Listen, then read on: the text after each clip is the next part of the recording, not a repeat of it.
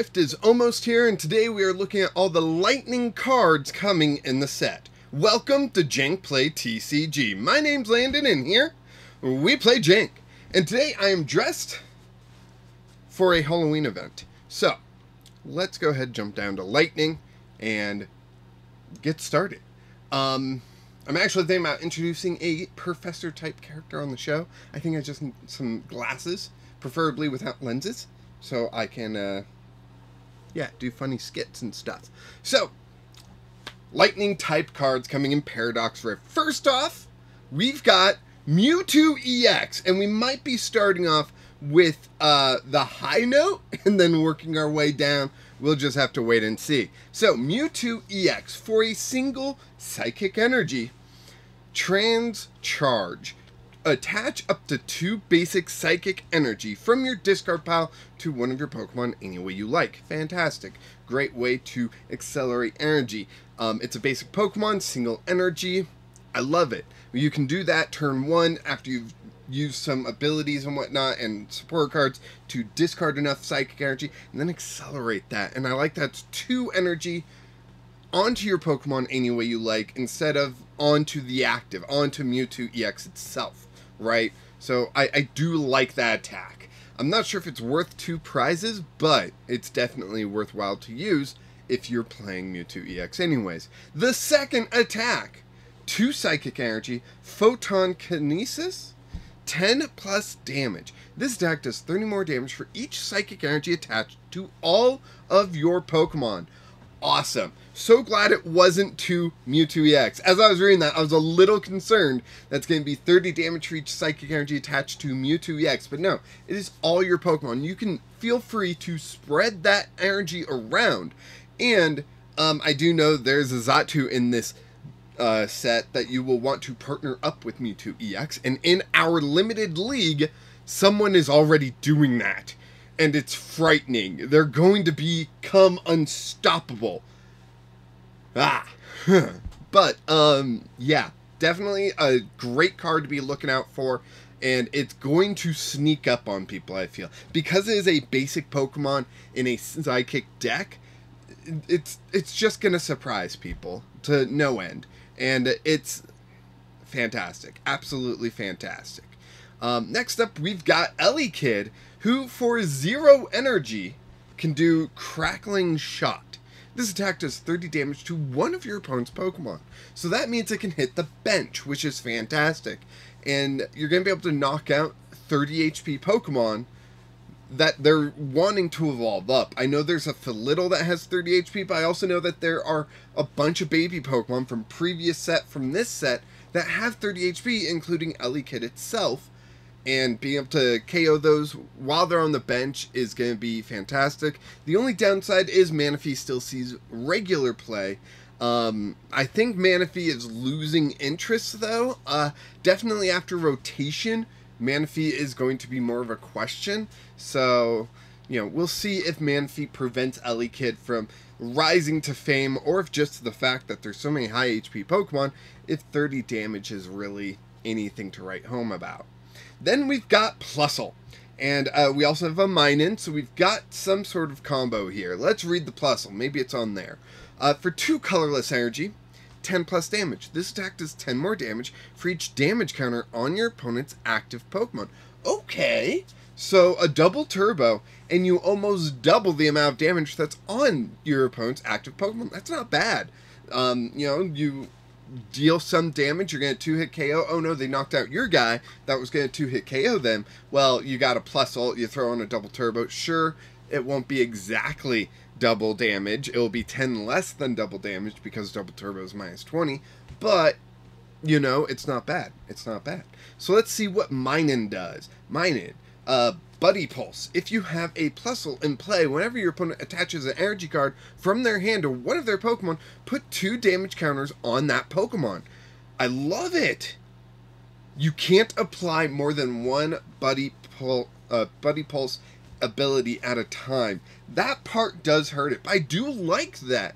Give up two bench spots, and every time your opponent attaches energy, they take 20 damage. That's pretty nifty. Um, one lightning energy, 20 damage. We don't care about that. It's just the buddy pulse. That's why we're here. Um, yeah, I like it. I'm not sure how often 20 damage is going to be the make it or break it of a particular deck, but um, let's see, whenever opponent attaches an energy card from their hand also. So it has to be accelerated from their hand. If there is any energy acceleration, it has to be from the hand. It can't be from the discard or something along those lines. So there are limitations to Minun. It won't be great against all decks. Take um, any Lost Box deck they're using. The Mirage Gate, right? So that's going to get around this damage that Minun would do.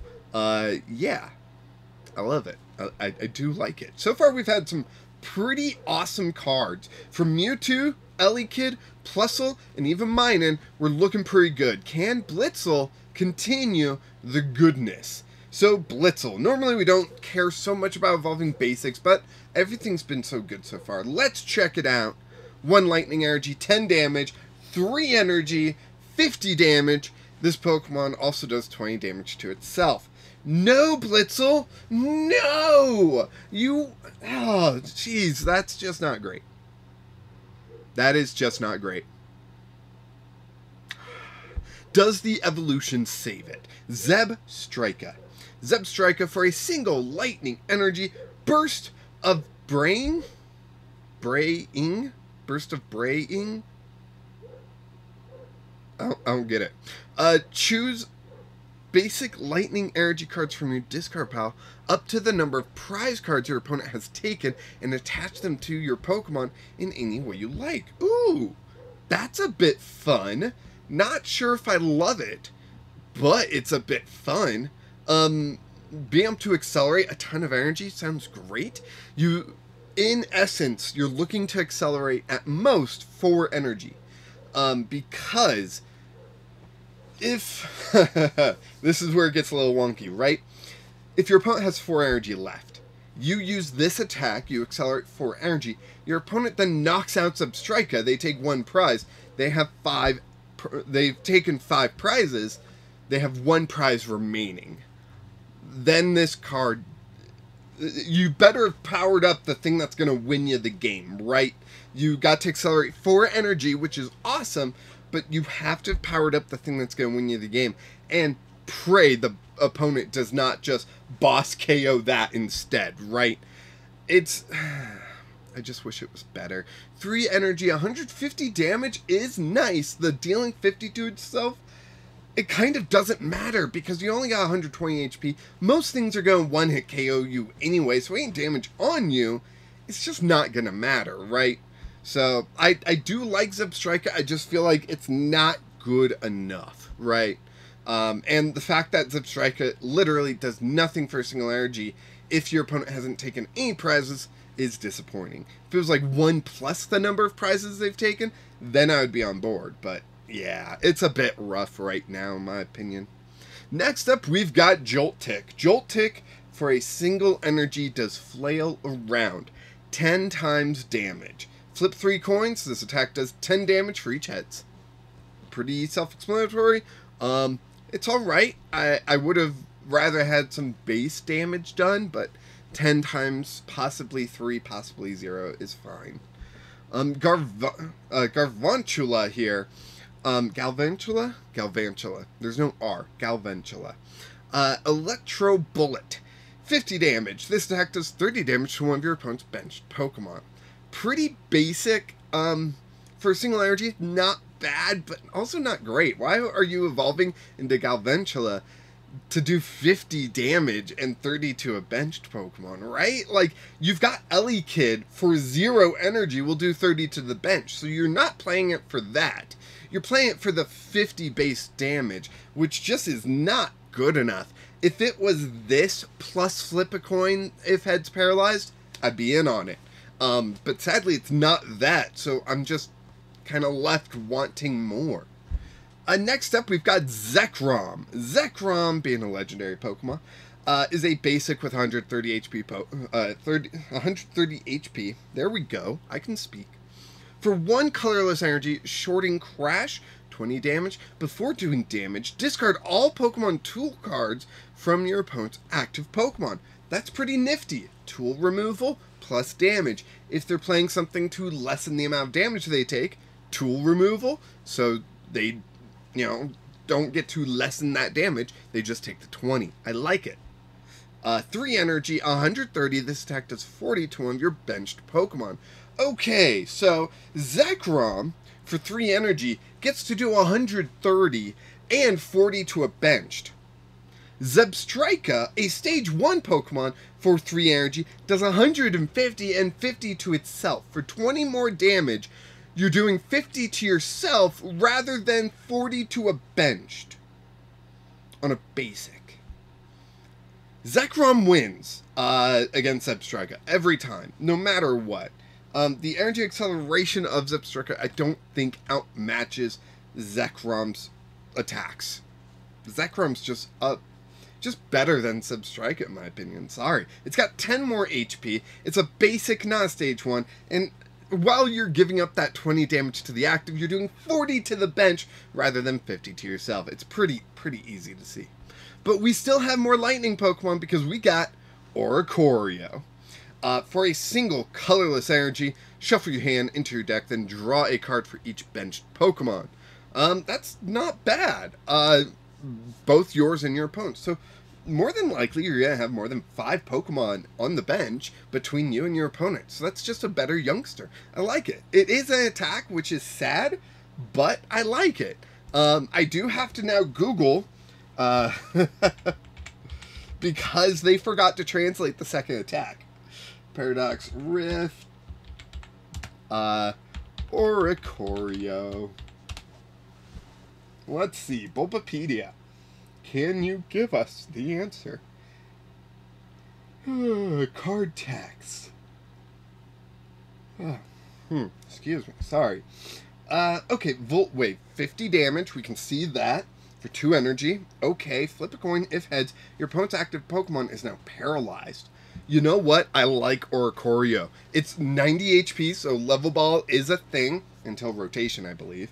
And yeah, uh, being able to both make your hand better and then on you know or be able to paralyze. I think it's phenomenal and i could see oricorio actually see play because you always want one of those pokemon that can buy you a turn or fix your hand or something along those lines you know? If you are just drawing terribly hey i got a level ball i got some energy you know what, Oricorio energy, send it into the active, and I will shuffle my hand in my deck and draw for each bench Pokemon. Beautiful. Or, hey, I can Oricorio energy and Raihan, grab the Pokemon I actually want, and slap that down.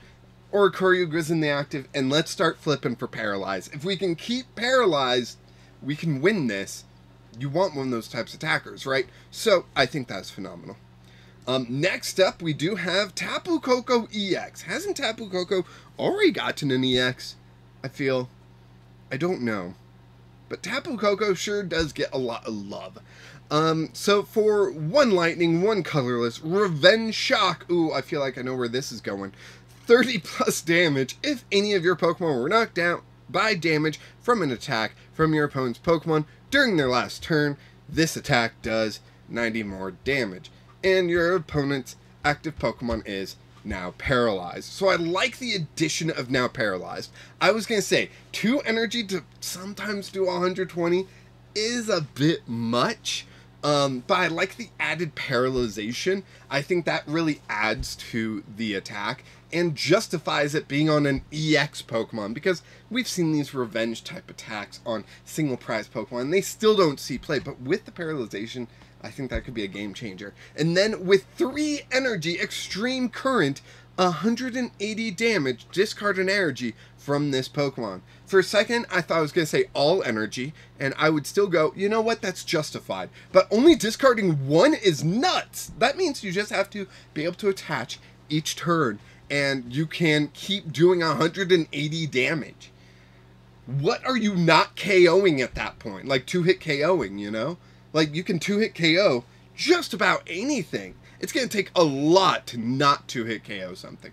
I love it. I think Tapu Koko EX could see some play. Um, in a Miraidon deck, is it worth it? That is a good question. Um, I want to say it is because of that revenge attack. Miraidon has a lot of three uh, cost attackers. It does have Raikou, which is a two cost attacker. Um, but Raikou doesn't have paralyzation. And I think that's why Tapu Koko could see some play, is for that paralyzation. You're doing 120, but you're also paralyzing. Yeah. Toxel. Toxel, uh, for two lightning energy, does 60 damage. Flip a coin. If tails, this attack does nothing. So, this is kind of mid, I want to say. It's not terrible. Two energy on an evolving basic is not really something we want to pay.